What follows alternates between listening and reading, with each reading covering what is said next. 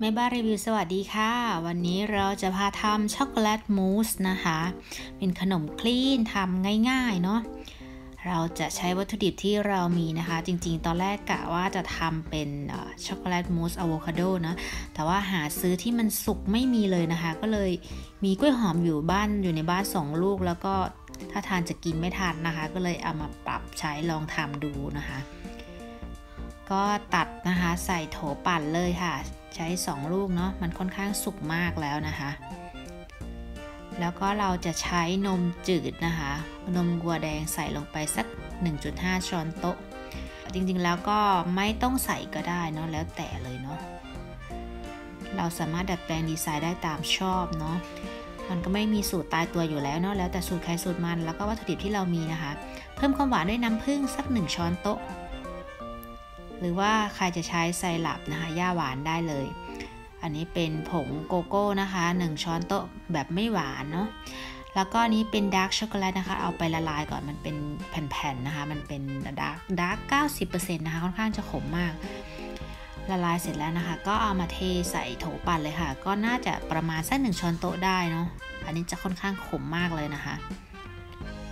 จากนั้นนำไปปั่นเลยค่ะ ปั่นให้ละเอียดเลย เพื่อนๆลองชิมรสดูเนาะ ถ้ามันไม่หวานก็สามารถเพิ่มความหวานได้จากน้ำผึ้งหรือว่าพวกไซรัปต่างๆนะคะ ปรากฏว่านะคะเนื้อมันค่อนข้างแบบเหลวไปนะคะ ส่วนตัวแม่บ้านรีวิวรู้สึกว่ามันมันเหลวไปอะ่ะ เราอยากจะให้มันหนืดหนืดหน่อยเนาะ เดี๋ยวเพิ่มเป็นข้าวโอ๊ตสัก 4 ช้อนโต๊ะนะคะ แล้วก็เติมกลิ่นวานิลาสักเล็กน้อย จากนั้นนำไปปั่นให้ละเอียดเลยค่ะ เสร็จเรียบร้อยแล้วค่ะ ก็จะได้ประมาณนี้เดี๋ยวเราลองเช็คเนื้อดูก่อนเนาะก็รู้สึกว่าค่อนข้างดีขึ้นนะคะ รู้สึกเหนืดขึ้นกว่าเดิม เดี๋ยวเราไปเทใส่แก้วกันเลย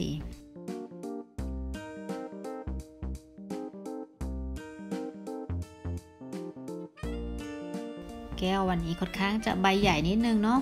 เดี๋ยวเราจัดตัดความเลี่ยนนะคะด้วยเป็น Greek โยเกิร์ตตัวนี้มันจะเปรี้ยวๆหน่อยนะคะสำหรับ Greek โยเกิร์ต เซเว่นก็มีขายนะคะกระปุกนี้ 30 บาท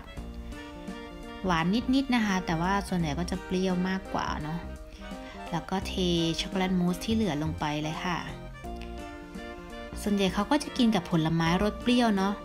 เห็นส่วนใหญ่เป็นสตรอเบอรี่แต่ว่าเราหาซื้อสตรอเบอรี่สดไม่ได้เลยนะคะ ช่วงนี้น่าจะยังไม่ออก ก็เลยใช้กีวีแทนแล้วกันเนาะ